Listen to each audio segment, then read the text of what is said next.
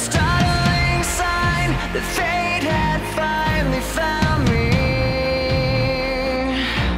And your voice was all I heard.